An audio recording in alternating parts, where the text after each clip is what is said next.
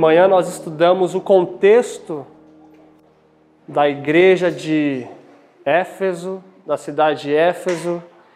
Vimos ali que Paulo escreveu aquela carta numa prisão e pudemos contemplar também que aquela cidade ela era muito diversificada, muitas etnias diferentes, é, classes sociais também diferentes, o que infelizmente acabou resultando numa desunião, numa desarmonia. E Paulo, em sua carta aos Efésios, ele vai tentar sanar essa dificuldade da igreja. Ele vai mostrar que Cristo unicamente une, através da cruz, através do seu sangue, através do Evangelho. Só que essa desunião causada aqui na terra, que também hoje vivemos a desunião, porque o tema é muito atual, nós até comentamos algumas desuniões que enfrentamos hoje em nossa organização, é, na nossa instituição. E essa organização ela não é de hoje, ela não é de um século, de um milênio, de dois milênios. Ela existe antes mesmo da Terra existir antes mesmo. Alguns dos irmãos, quase todos, tiveram um breve estudo ali com o irmão Silverino e puderam ter uma breve noção e contemplar um pouco o que é o grande conflito. O que é o grande conflito? O grande conflito ele foi ocasionado antes mesmo da Terra existir. Então, antes mesmo da, do problema de redenção do homem, já existia um grande problema a ser sanado.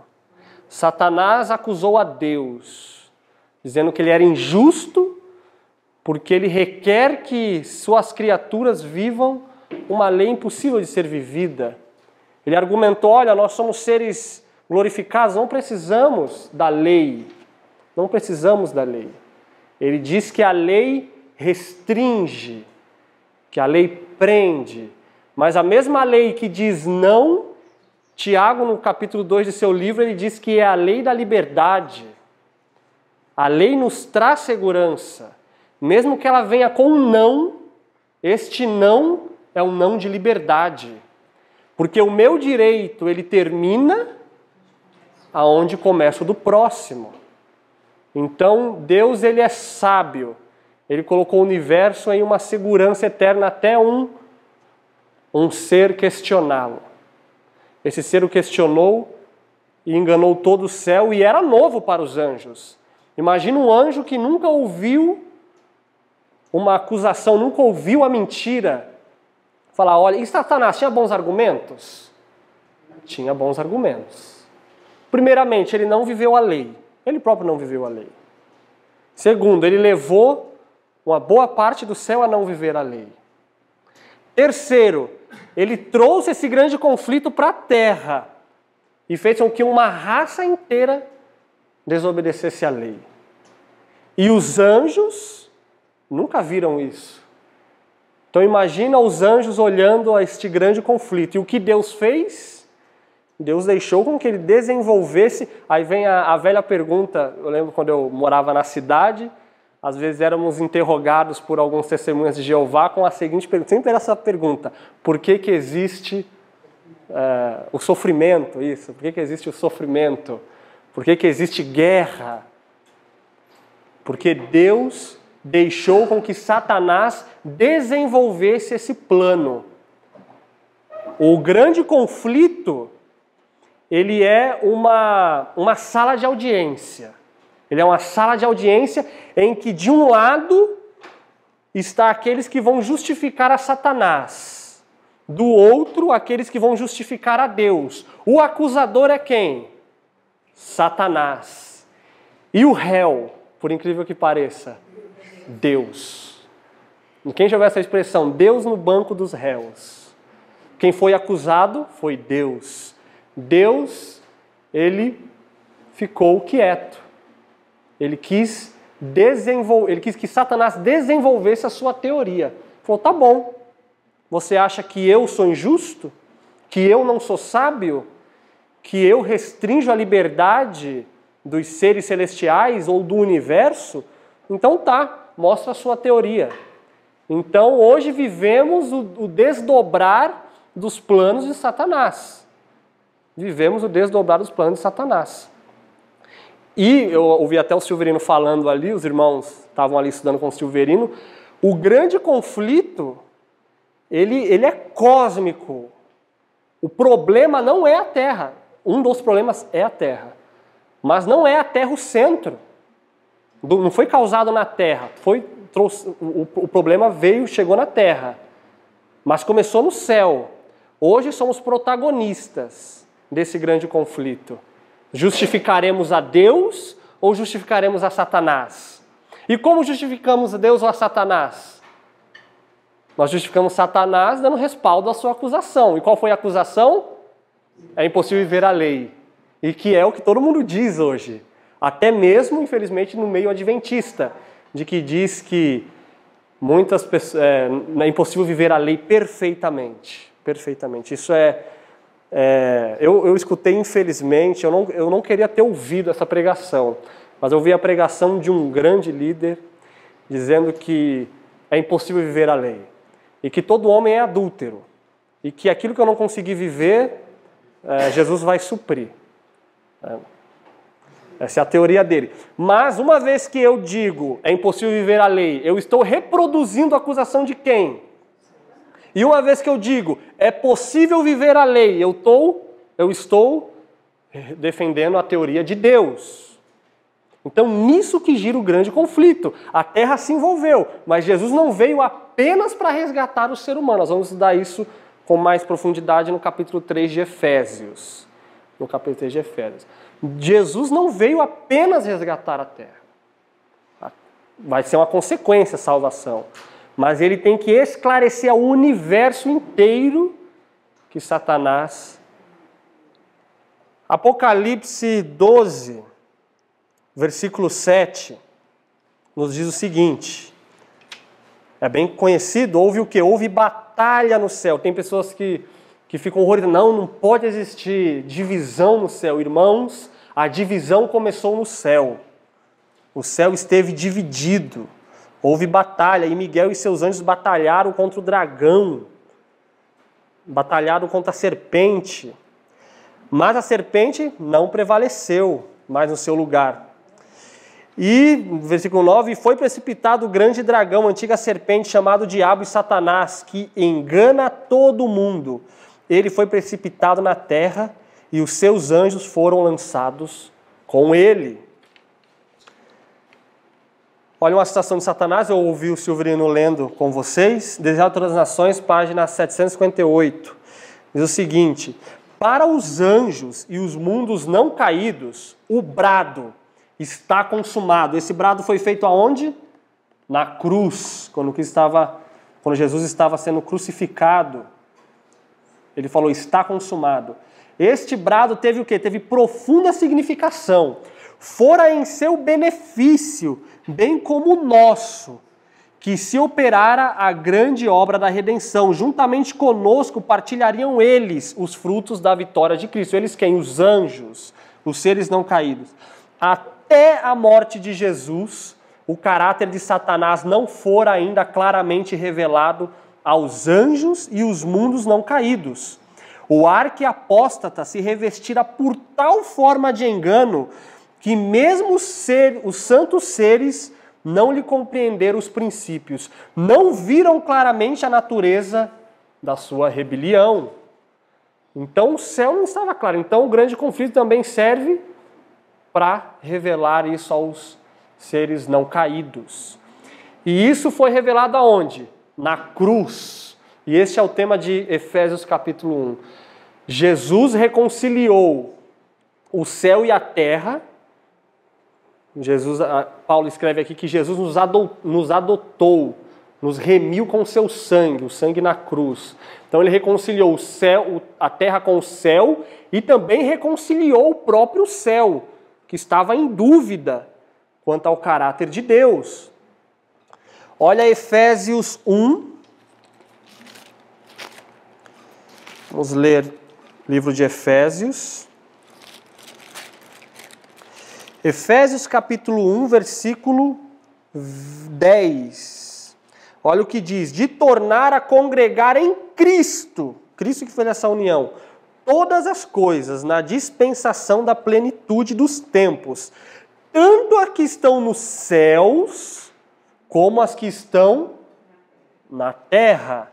Colossenses também reflete muitas ideias de, de Efésios. Colossenses 1, versículo 20, diz: E que, havendo por ele feito a paz pelo seu sangue da sua cruz, por meio dele reconciliasse consigo, mesmo todas as coisas, tanto as que estão na terra, como as que estão nos céus. Então é bíblico isso.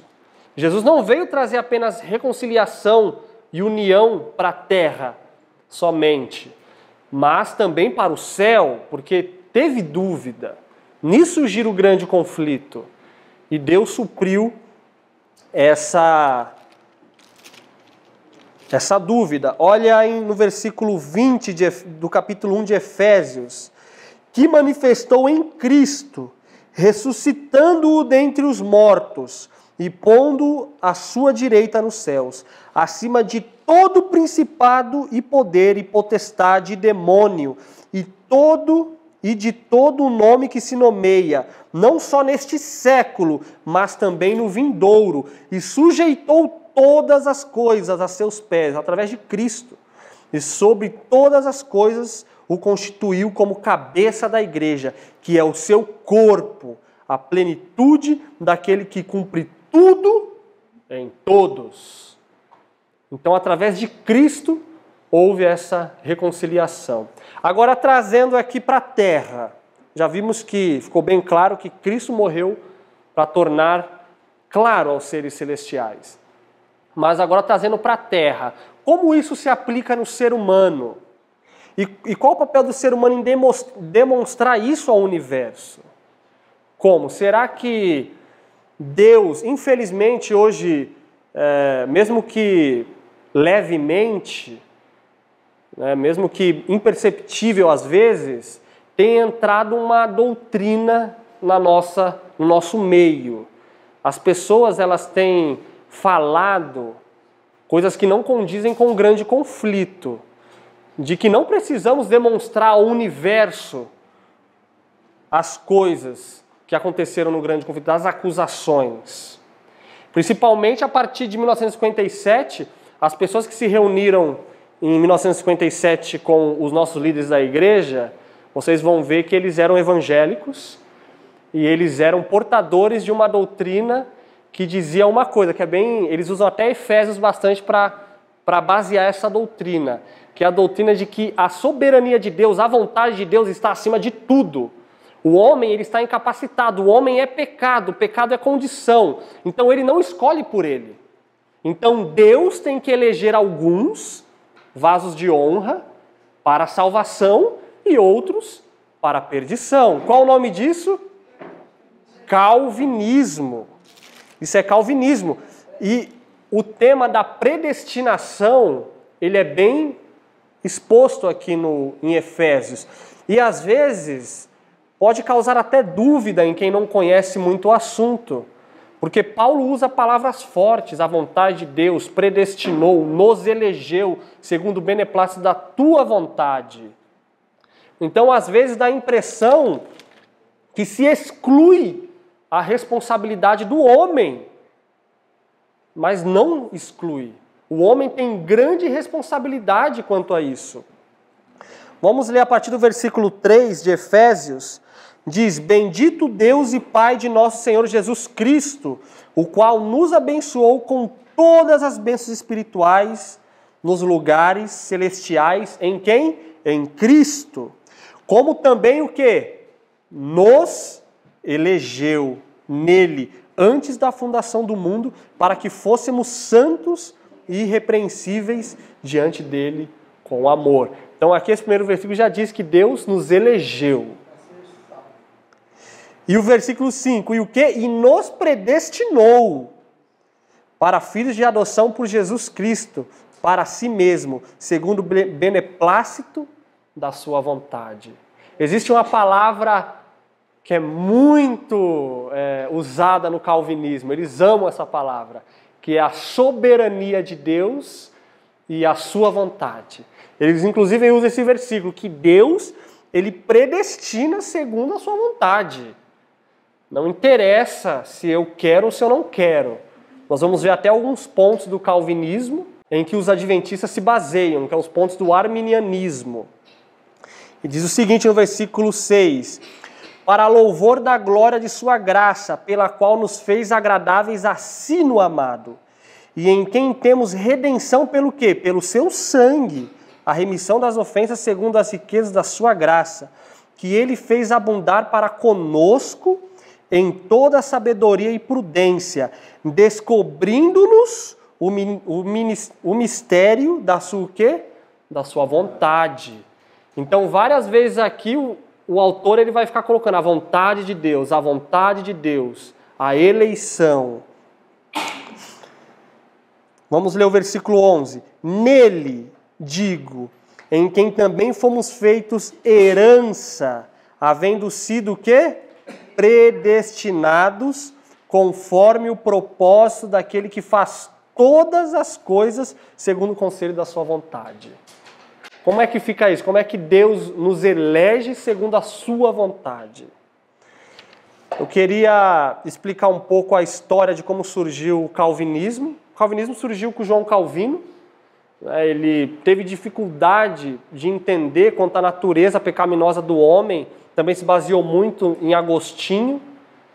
De, ele não entendeu bem como é que o homem depravado vai escolher por si. E ele também reuniu vários versículos da Bíblia que trata de predestinação, eleição, e começou a bolar uma teoria que hoje conhecemos como calvinismo. Porém, e hoje, para diga-se de passagem, sei lá, 90 a 85% do cristianismo hoje é calvinista. Tá? Uma pequena parcela é arminiana. Então, ele, então em 1611, 1615 mais ou menos, surgiu um teólogo na Holanda chamado Jacob Arminius. Esse Arminius ele começou a estudar a Bíblia. Eles já eram reformados, protestantes, e ele viu que existia alguma coisa de errado com o calvinismo ele começou a ver na Bíblia que o homem tem responsabilidade sim. Que nem tudo, claro que é, é, Deus começa com Deus, mas existe uma responsabilidade com o homem. O Espírito de Profecia diz que é a junção entre o cooperar do homem e o cooperar divino. Mas para o calvinista, não. É Deus do 100%, do começo ao fim. O homem não precisa fazer nada. Nada. Mas esse, esse professor morreu e os seus alunos levantaram cinco pontos que ficaram conhecidos como cinco pontos do calvinismo. O primeiro deles é eleição condicional. Existe condição para ser um eleito. Não é qualquer um assim, ah, Deus, eu vou te eleger e ponto, acabou. Incondicionalmente do que você faz ou que você é. Eu quero eleger o irmão Orlando, mas não quero eleger o irmão o irmão Tacílio. Então ele já abarrou isso, falou: não, a, a eleição é condicional. O segundo ponto, que a obra de Cristo, a obra redentora de Cristo é ilimitada, é para todos, para todos. O terceiro ponto dos arminianos, depravação total, que o homem ele foi depravado, né, pela sua, a sua natureza, que está certa, né, ele foi depravado, mas o quarto ponto diz que existe uma graça preveniente e irresistível essa, o que é essa graça? Essa graça habilita o homem. É isso que é a graça. Ela é prévia, mas ela é resistível. Eu posso negar a graça. Deus, o Espírito Santo me oferece a graça, eu posso, não, não quero a graça.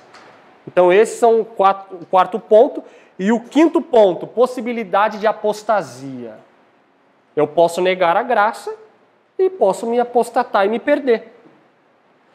Então, a, os clérigos ali, os, os estudiosos do calvinismo, eles não gostaram disso, se reuniram, fizeram várias reuniões e chegaram a cinco pontos, ficaram conhecidos como cinco pontos do calvinismo. Então podemos definir bem a, a teoria de, de predestinação do calvinismo nesses cinco pontos.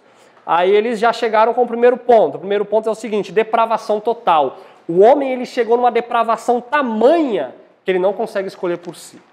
Então ele não pode, Deus não pode deixar com que o homem escolha o bem, porque ele não vai escolher o bem. Ele não vai escolher o bem. Então não pode depender nada do homem. Não pode depender nada do homem. o segundo ponto é eleição condicional, que é consequência do primeiro. Se o homem não pode escolher, escolher para o bem, então é, é incondicional. Ele não vai escolher para o bem, mas eu vou elegê-lo mesmo assim. Então, então Deus vai eleger as pessoas que ele querer incondicionalmente, independente se a pessoa quer ou não. Aí o terceiro ponto é a expiação limitada. A obra de Cristo foi para alguns, não para todos. Na minha visão, é muito absurdo essas, essa teoria. Mas isso existe, tá? Isso é o calvinismo. Isso é calvinismo. Tá? Expiação limitada. Quarto ponto, esse é o ponto mais controverso e, e difícil de entender no calvinismo. Graça irresistível. Porque o, o arminiano ele vai debater com o calvinismo na seguinte questão: livre-arbítrio.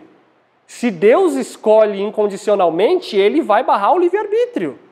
Só que o que o calvinista diz? Não, Deus não interfere o livre-arbítrio, independente se ele, se ele escolhe incondicionalmente, não é, é, é quebra do livre-arbítrio. Sabe por quê? Porque a graça é irresistível. Aquele que ele quer chamar, a graça é de um jeito assim tão. Nem eles sabem explicar, eles falam que é um mistério. É de um jeito assim tão sublime que a pessoa fala: Nossa, isso é muito bom, não tem como eu negar. Aí ele segue. Então isso é a graça irresistível. Aí eles dizem que isso não é, não é quebra do livre-arbítrio. Né? Ele escolheu por ele mesmo, porque é irresistível, não tem como negar. E o quinto ponto é a perseverança dos santos, que não há possibilidade de queda. Tá? Uma vez que Deus te elegeu, te escolheu, ele vai te preservar até o fim. Ou seja, uma vez salvo, salvo para sempre.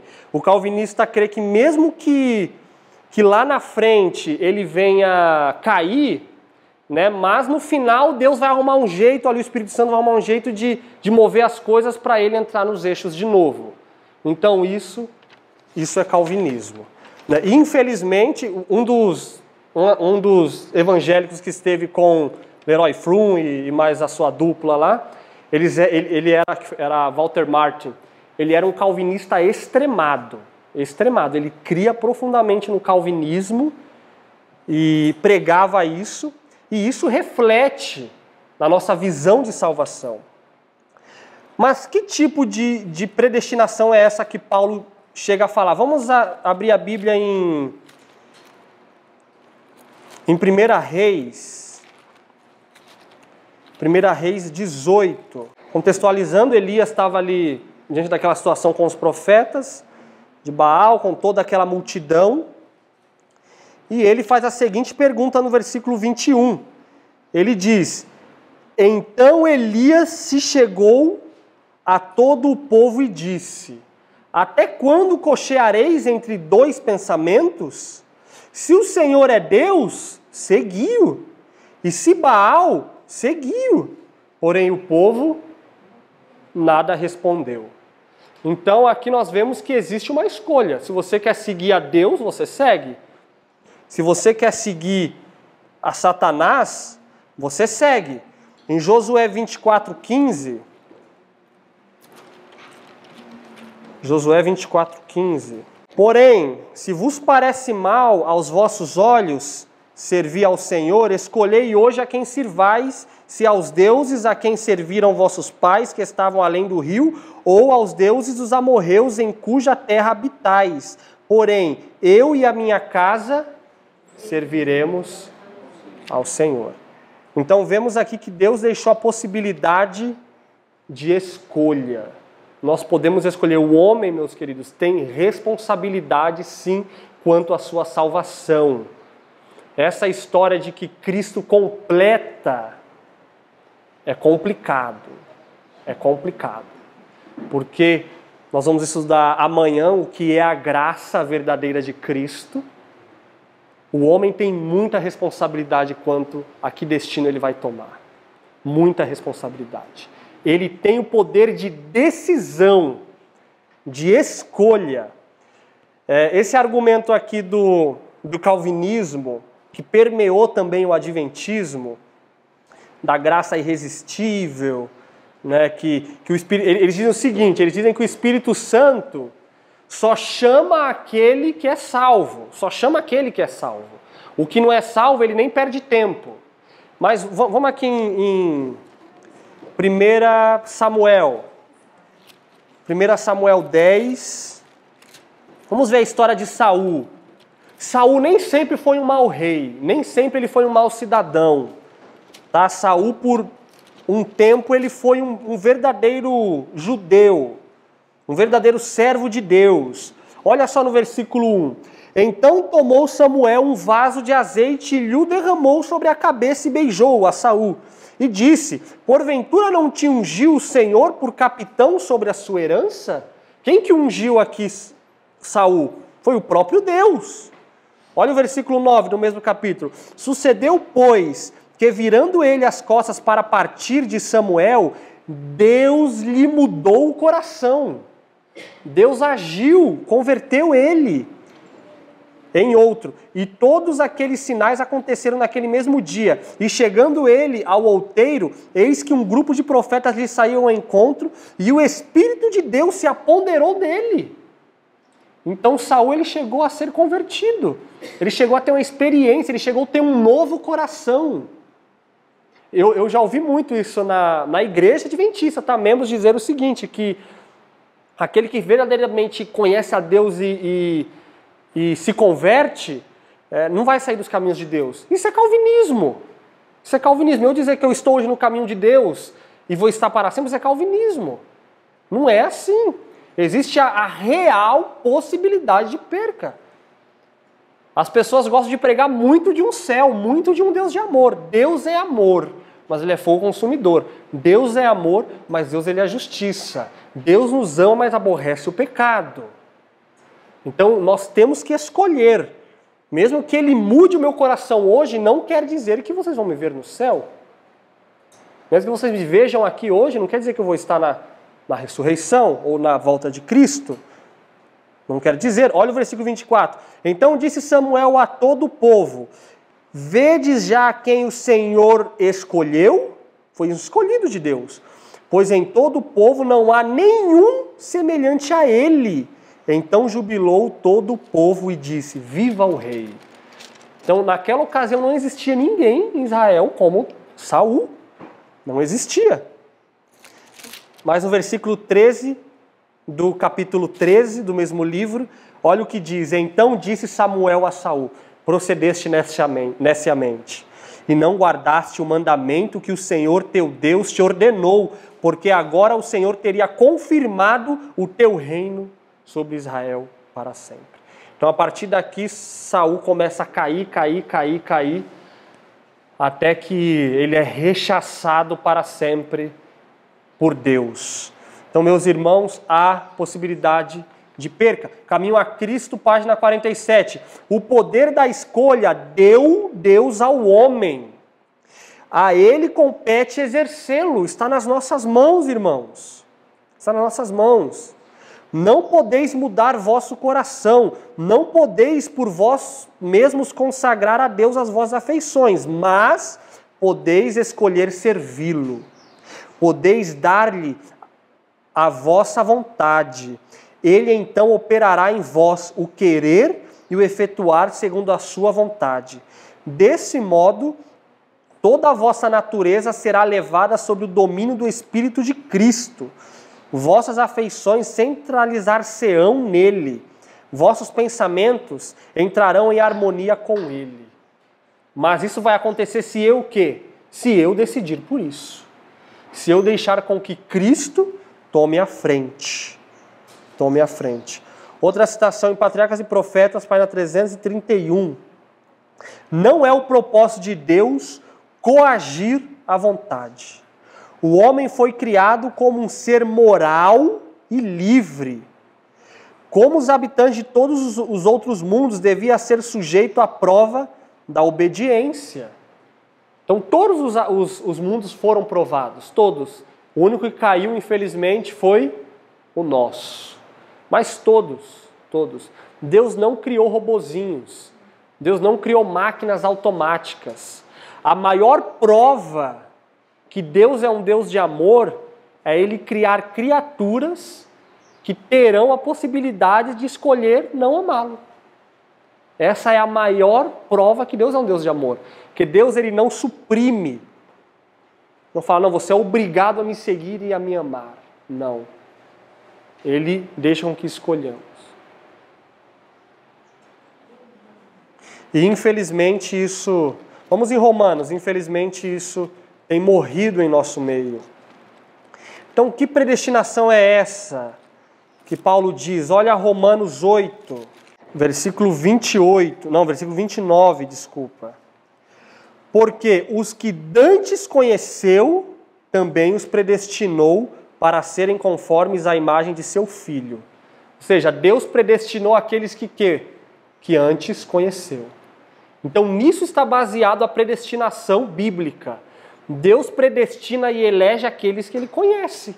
Por quê? Porque Deus, ele é onisciente. Deus ele, ele tem a presciência. Olha o que diz aqui em Ciência Bom Ver para 230. Deus conhece o fim desde o princípio, conhece de perto o coração de todos os homens, lê todo o segredo da alma. Então Deus tem toda a autoridade de falar: olha, eu elegi o Rafa, o Rafael, eu elegi, porque ele já sabe qual vai ser o final. Não porque ele está elegendo ou predestinando segundo só a sua vontade. Ele elege aquele que ele conhece. Olha Pedro, 1 de Pedro, capítulo 1, versículo 2. Eleitos segundo o quê? Segundo a presciência de Deus. Então Deus, a predestinação é baseada nisso, presciência. Essa é uma outra palavra que o arminiano gosta, presciência. Porque Deus ele escolhe aquele que conhece. Deus sabe o que eu vou fazer e que caminho eu vou tomar, sem a intromissão dele.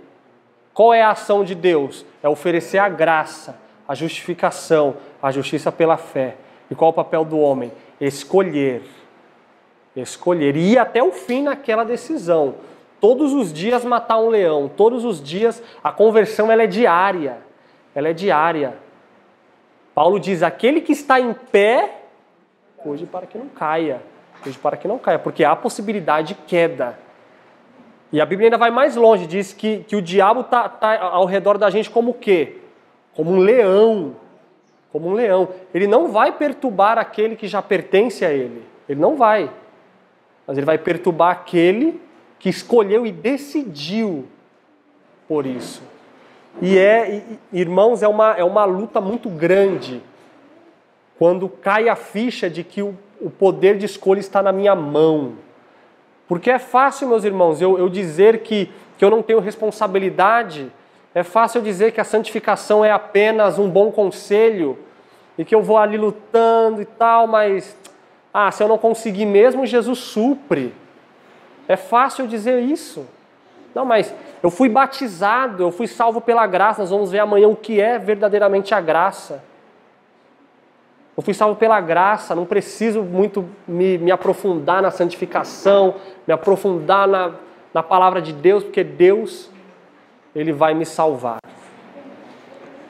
A salvação não é incondicional, ela é baseada na pré-ciência de Deus. Vamos ler o último versículo, 1 Timóteo, capítulo 2, versículo 4. Diz o seguinte: Que quer que todos os homens o que se salvem e venham ao conhecimento da verdade. Qual é a vontade de Deus aqui? Que todos se salvem. Mas qual é a palavra-chave desse versículo? Que quer, quer, querer. Essa é a vontade de Deus. Deus quer que todos se salvem. Mas todos vão se salvar? Não e, vai salvar, e, e vão salvar só aqueles que Deus escolheu por sua vontade? Não. Porque a vontade dele é que todos se salvem. Essa é a vontade dele. mas nem todos vão se salvar. Então, meus amados, nós temos grande responsabilidade nesse grande conflito. O calvinismo ele tende a tirar a responsabilidade do grande conflito do ser humano, dizendo que o ser humano está aqui porque Deus colocou ele aqui, porque quer que a gente passe por uma prova e que Jesus veio apenas oferecer a graça. É isso que o calvinismo prega. E tirar todo o contexto do grande conflito de reivindicar a lei de Deus e o seu caráter, que é o que importa. E infelizmente isso permeou a nossa teologia. Mas Deus é sábio e seguro. E ele vai escolher a mais débil geração que pisou nessa terra, com a carga de seis mil anos de pecado em suas costas, para mostrar que eles mesmo, com a natureza depravada, com a natureza caída, eles vão ter a possibilidade de escolher o certo e o errado e decidir do lado de Deus e colocar Azazel no deserto, os mil anos. E é assim que vai acontecer. Então que Deus nos abençoe. Amanhã nós vamos estudar um pouquinho sobre a graça, que a graça ela não é tão barata quanto pregam, porque hoje o conceito de graça, infelizmente, é uma graça barata. Nós vamos ver verdadeiramente o que é a graça.